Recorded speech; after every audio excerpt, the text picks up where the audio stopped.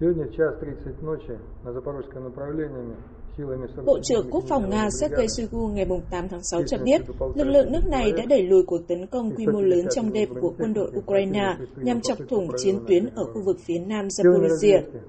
Ông Shoigu cho biết, lực lượng Nga đã đẩy lùi bốn cuộc tấn công riêng biệt trong đêm của Ukraine dọc theo mặt trận phía nam.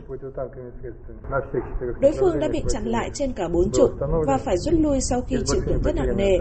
Kết quả của cuộc giao tranh kéo dài 2 giờ là phía Ukraine đã mất 30 xe tăng, 11 xe chiến đấu bộ binh và tới 350 binh sĩ. Điều đó cho thấy lực lượng dự bị được huấn luyện đặc biệt của Ukraine nhằm thực hiện bước đột phá này đã không thể hoàn thành nhiệm vụ của họ. Ukraine hiện chưa bình luận về thông tin trên. Bộ trưởng Shoigu hiếm khi bình luận về quá trình chiến dịch quân sự đặc biệt của Nga ở Ukraine. Báo cáo về tình hình chiến đấu thường do Trung tướng Igor Konashenkov, người phát ngôn của Bộ Quốc phòng Nga, thông báo. три самоходные артиллерийские установки